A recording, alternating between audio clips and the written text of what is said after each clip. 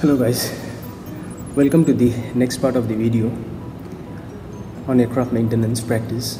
So i will be discussing about wiring manual. And again i won't be looking at the camera because of uh, the dengue problem as i'm yet to recover. My platelets are slowly getting increased now.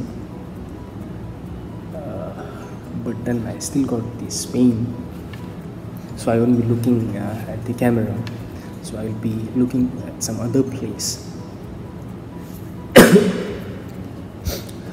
So let's start off with the wiring manual. So if we look into wiring manual what exactly the inform it, the information it displays? It displays regarding the electrical system. It also to some extent tells us, uh, tells us about the mechanical system now all the circuit diagram that are shown in the wiring diagram manual, it represents the aircraft at rest position and this is specified in terms of ATA 100. Now whenever we say at rest, what exactly it means? It means that there could be possible scenario that the aircraft is on ground with the landing uh, position with the landing gear extended. The electrical power is off. It is switched off. The relays are de-energized. And uh, the uh, light push uh, switch is in on position. Remember light push switch is in on position not off. So these are the conditions that uh, specifies that the aircraft is at rest.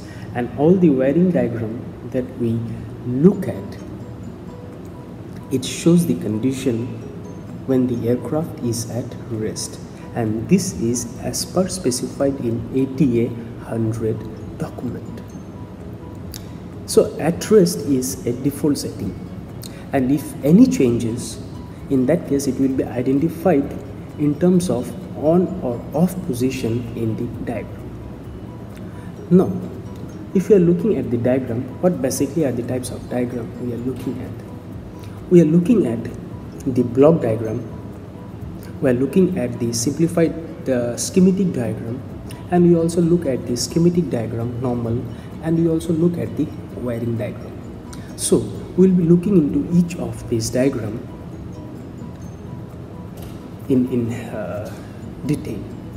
Not in detail but you know some basic idea. So what is block diagram? It gives us some overview of the system or the subsystem, a broad overview of the systems and subsystems.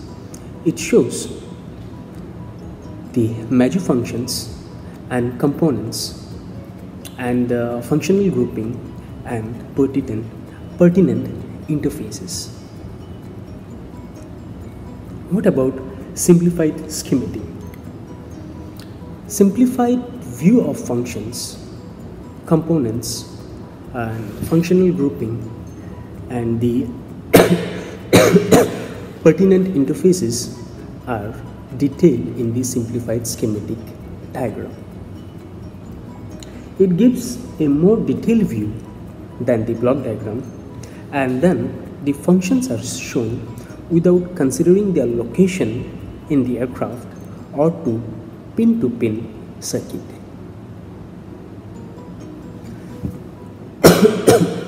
what about schematic? Schematic, they are used for fault isolation uh, to up to the LRU level. It gives the detailed view. It provides the link between the function, between the physical implementation. It also gives us precisely the location. It gives a detailed view of the pin-to-pin -pin connectivity. Next we'll look into the wiring diagram. So wiring diagram is used for wiring installation. It is used for uh, fault diagnosis and repair. It does not show the component function but it provides the detailed view of the pin-to-point pin-to-pin -pin connectivity. Next is circuit wiring uh, identification. Each aircraft has its own system and these are not you know, standard system. Next is separation. Circuits can be separated from each other within the wire bundle and this is separation. Now why is it necessary?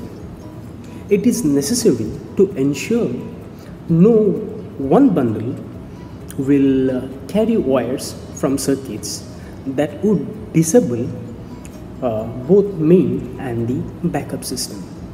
It also prevents interference and uh, crosstalk.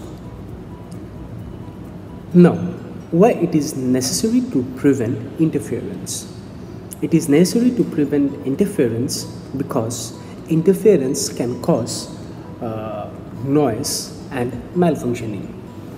Now, what are the type of interference we are looking at? Now, whenever we talk about interference, basically that means electromagnetic interference, it also means electrostatic interference, it means crosstalk, and it also means common mode interference. So we'll look into each of these. So what is electromagnetic interference? Now if uh, the current is flowing through a conductor and if, the, and if that gives rise to the varying magnetic field, that type of interference is known as electromagnetic interference. What is electrostatic interference? If there is some unwanted electric charge to a conductor uh, that is being induced from an adjacent electric field so that sort of interference is called electrostatic interference. What is crosstalk? If uh, the aircraft uh, sorry if uh, there is some AC current or some pulsating DC current signals and these are transmitted in the same or the adjacent cable that would give rise to crosstalk. What is common mode interference? Uh, this happens due to difference in the ground potential. Now for separating circuit uh, manufacturer use some groups. And these groups different groups are identified by different uh, alphabets. Now to differentiate or to identify systems within the group some numbers are used. So that implies what i'm trying to say is to differentiate different groups we use alphabets and to differentiate different systems within the group we use numbers. These are not standard and it varies from manufacturer to manufacturer. Now this separation code can be given within the wire identification code on the uh, wiring diagram manual. Next is we've got something called ICA. ICA stands for Instruction for Continued Airworthiness and these are given in EWIS. Now why are they given? This is to ensure that the electrical installations are safe and reliable. The next topic we'll look into is aircraft wire. The commonly used wire used in aircraft are unshielded type and that could be single core or multi core it could be shielded type again it could be single core and multi core it could be coaxial or it could be thermocouple. Now each of these wires are marked as per ISO 2754 code.